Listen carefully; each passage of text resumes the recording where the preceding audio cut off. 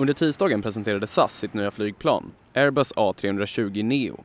Och SAS VD Rickard Gustafsson menar att det nya planet kommer vara positivt för såväl resenärerna som för planeten. Dels så är det ett mer bränsleeffektivt flygplan, det är ju positivt.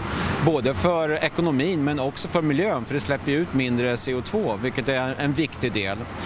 Men sen också för våra kunder med det här flygplanet är först ut med en ny komfort ombord med säten med gott om plats för knäna, lite mjukare kuddar att sitta på, också möjlighet att kunna ladda sin mobiltelefon och, så vidare i varje, varje säte.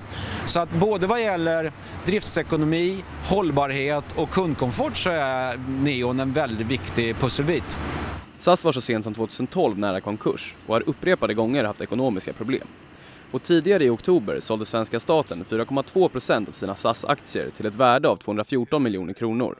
Ändå ser Rickard Gustafsson ljust på framtiden för flygresande och för SAS. Ja, vi ser en väldigt ökad efterfrågan. Jag tror väldigt många människor är nyfikna på att uppleva världen. Man vill eh, besöka spännande platser, man vill besöka nära och kära och man, man behöver resa. Vi ser ett, en tendens där affärsresandet fortsätter men det som växer mest är ju fritidsresandet.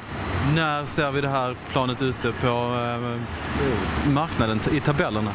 Ja, den här kommer att faktiskt lämna hangaren här om någon timme för att ge sig ut och från och med imorgon så flyger eh, våran Sol Viking i hela SAS eh, europeiska nätverk.